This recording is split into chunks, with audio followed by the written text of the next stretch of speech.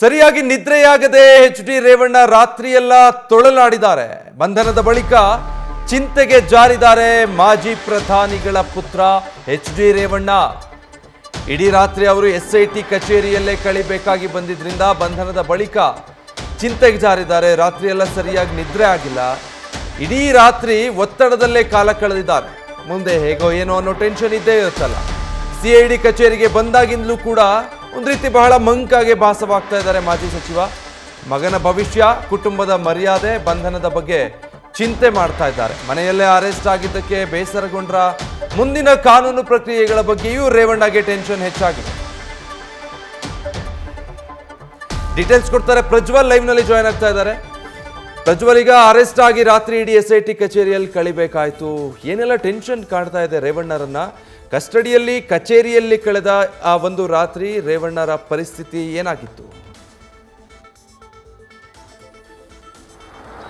ವಿಜಯ್, ಈಗಾಗಲೇ ರೇವಣ್ಣ ಅವ್ರನ್ನ S I T ಅಧಿಕಾರಿಗಳು ಬಂಧಿಸಿರುವಂಥದ್ದು. ನಿನ್ನೆ ದಿನ ಸಿ ಐ ಡಿ ಕಚೇರಿಯಲ್ಲೇ ರೇವಣ್ಣ ಅವರೇನಿದ್ದಾರೆ, ಅವರು ಕಳೆದಿದ್ದಾರೆ. ಸಾಕಷ್ಟು ಆತಂಕದಲ್ಲೇ ಕಳೆದಿದ್ದಾರೆ. ಇನ್ನೊಂದು ಕಡೆಯಲ್ಲಿ ಅವರಿಗೆ ಸಾಕಷ್ಟು ಭಯ ಕೂಡ ಇದೆ. ಅದೇ ರೀತಿಯಲ್ಲಿ ಎಲ್ಲೋ ಒಂದು ಕಡೆಗೆ ಅಂದರೆ ಕುಟುಂಬದ ಪ್ರಶ್ನೆ ಆಗಿರ್ಬೋದು ಅಥವಾ ಮಗನ ಭವಿಷ್ಯ ಆಗಿರ್ಬೋದು ನಾನು ತನ್ನ ಬಂಧನ ಆಗಿರ್ಬೋದು ಇದೆಲ್ಲವೂ ಕೂಡ ಈಗ ಹೊಸದಾಗಿ ಕಾಣ್ತಾ ಇದೆ. ಪೊಲೀಸ್ ಅಧಿಕಾರಿಗಳು ಇಷ್ಟು ದಿನ ಅವರ ಜೊ ಅವರಿಗೆ ಎಸ್ಕಾಟನ್ನು ಮಾಡ್ತಾ ಇದ್ದಂಥವರೇ ಇವತ್ತು ಅವ್ರನ್ನ ಬಂಧಿಸುವಂಥ ಒಂದು ಕೆಲಸವನ್ನು ಮಾಡಿದ್ರು. ಇದು ಸಾಕಷ್ಟು ಘಾಸಿ ಉಂಟು ಮಾಡುವಂಥ ಒಂದು ವಿಚಾರ ಕೂಡ ಹೌದು. ಆ ಒಂದು ನಿಟ್ಟಿನಲ್ಲೂ ಕೂಡ ಅವರು ಯೋಚನೆಯನ್ನು ಮಾಡ್ತಾ ಇದ್ದಾರೆ. ಮತ್ತೊಂದು ಕಡೆಯಲ್ಲಿ ತಂದೆಯ ಮನೆಯಿಂದಲೇ ಅಂದರೆ ಮಾಜಿ ಪ್ರಧಾನಿ ದೇವೇಗೌಡರ ಮನೆಯಿಂದಲೇ ಅರೆಸ್ಟ್ ಆದೆ ಅನ್ನುವಂಥ ಒಂದು ನೋವೇನಿದೆ. ಅದು ಕೂಡ ಈಗ ರೇವಣ್ಣ ಅವ್ರನ್ನ ಕಾಡ್ತಾ ಇದೆ. ಆ ಒಂದು ಹಿನ್ನೆಲೆಯಲ್ಲಿ ಅವರು ಸಾಕಷ್ಟು ಮಂಕಾಗಿದ್ದಾರೆ ಅನ್ನುವಂಥ ಒಂದು ಮಾಹಿತಿ ಕೂಡ ಲಭ್ಯವಾಗ್ತಾ ಇರುವಂಥದ್ದು. ನಿನ್ನೆ ಅವರು ಸರಿಯಾಗಿ ನಿದ್ರೆಯನ್ನು ಕೂಡ ಮಾಡಿಲ್ಲ. ಅವರ ಮುಖದಲ್ಲಿ ಚಿಂತೆ ಅನ್ನುವಂಥದ್ದು ಕಾಡ್ತಾ ಇದೆ.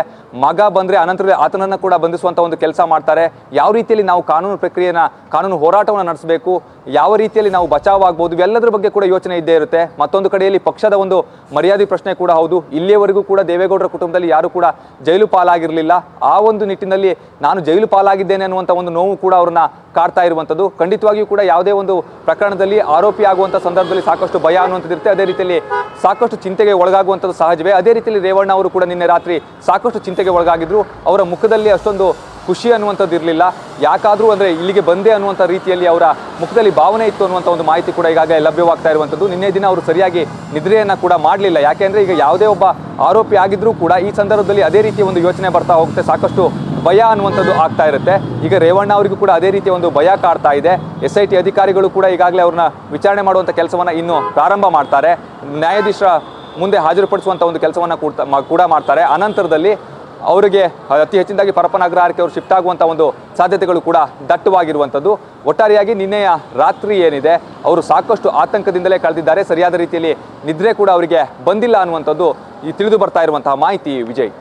ಪ್ರಜ್ವಲ್ ಈಗ ಇವತ್ತು ಭಾನುವಾರ ಆಗಿರೋ ಕಾರಣ ಇವತ್ತೇ ಅವರನ್ನ ನ್ಯಾಯಾಧೀಶರ ಮುಂದೆ ಹಾಜರುಪಡಿಸ್ತಾರಾ ಅಥವಾ, ಆ ನಾಳೆ ಹಾಜರುಪಡಿಸೋದು ಅನ್ನುವಂಥ ಲೆಕ್ಕಾಚಾರ ಏನಾದರೂ ಇದೆಯಾ? ಇವತ್ತಿನ ಲೀಗಲ್ ಪ್ರೊಸೀಡಿಂಗ್ಸ್ ಏನಿರುತ್ತೆ?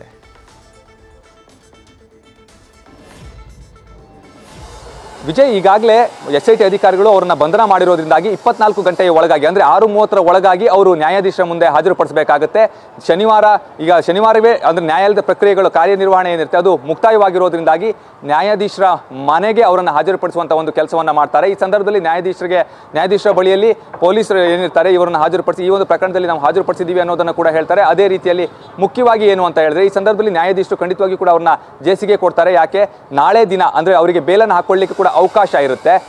ರೇವಣ್ಣ ಅವರ ಪರ ವಕೀಲರು ಏನಿರ್ತಾರೆ, ಅವರು ಬೇಲ್ ಅಪ್ಲಿಕೇಶನ್ ಅನ್ನು ಹಾಕೊಳ್ತಾರೆ. ಈ ಸಂದರ್ಭದಲ್ಲಿ ಎಸ್ ಐ ಟಿ ಪರ ವಕೀಲರು ಏನಿರ್ತಾರೆ, ಆ ಒಂದು ಬೇಲ್ ಅಪ್ಲಿಕೇಶನ್ಗೆ ಸಹ ಆಕ್ಷೇಪಣೆಯನ್ನು ಸಲ್ಲಿಸು ಸಲ್ಲಿಸುವಂಥ ಒಂದು ಕೆಲಸವನ್ನು ಮಾಡ್ತಾರೆ. ಕಾರಣ ಏನು ಅಂತ ಹೇಳಿದ್ರೆ, ಇಲ್ಲಿ ರೇವಣ್ಣ ಅವರು ಶಾಸಕರು ಕೂಡ ಹೌದು, ಆ ಒಂದು ನಿಟ್ಟಿನಲ್ಲಿ ಅವರು ಸಂತ್ರಸ್ತೆಯರ ಮೇಲೆ ಪ್ರಭಾವ ಬೀರಬಹುದು ಅಥವಾ ಸಾಕ್ಷಿಗಳ ಮೇಲೆ ಒತ್ತಡವನ್ನು ಹೇರಬಹುದು ಅನ್ನುವಂಥ ಉದ್ದೇಶದಿಂದಾಗಿ ಅವರಿಗೆ ನಿರೀಕ್ಷಣಾ ಜಾ- ಜಾಮೀನನ್ನು ಕೊಡಬಾರ್ದು ಅನ್ನುವಂಥದ್ದು ಏನಿದೆ ಅದನ್ನು ಅವರು ಹೇಳ್ತಾ ಹೋಗ್ತಾರೆ. ಆ ಒಂದು ಹಿನ್ನೆ ನಿಟ್ಟ ನಿಟ್ಟಿನಲ್ಲಿ ನ್ಯಾಯಾಧೀಶರು ಯಾವ ರೀತಿಯ ಒಂದು ತೀರ್ಮಾನವನ್ನು ಕೈಗೊಳ್ತಾರೆ ಅನ್ನುವಂಥದ್ದು ಕಾದು ನೋಡಬೇಕಾಗಿರುವಂಥ ವಿಚಾರ. ಸದ್ಯದ ಮಟ್ಟಿಗೆ ಅವರನ್ನು ಇವತ್ತಿನ ದಿನ ನ್ಯಾಯಾಧೀಶರ ಮನೆಯಲ್ಲಿ ಹಾಜರುಪಡಿಸುವಂಥ ಒಂದು ಕೆಲಸವನ್ನು ಮಾಡ್ತಾರೆ. ಅನಂತರದಲ್ಲಿ ಅವ್ರನ್ನ ಜೇಸಿಗೆ ಕೊಡುವಂಥ ಒಂದು ಸಾಧ್ಯತೆಗಳೇನಿರುತ್ತೆ ಅದು ದಟ್ಟವಾಗಿರುವಂಥದ್ದು. ಇಲ್ಲಿ ಪೊಲೀಸ್ ಕಸ್ಟಡಿಗೆ ನಾಳೆ ದಿನದಲ್ಲಿ ಮತ್ತೆ ಎಸ್ ಐ ಟಿ ಅಧಿಕಾರಿಗಳು ತೆಗೆದುಕೊಳ್ಳುವಂಥ ಒಂದು ಸಾಧ್ಯತೆ ಕೂಡ ಇದೆ Vijay. Okay thank you Prajwal.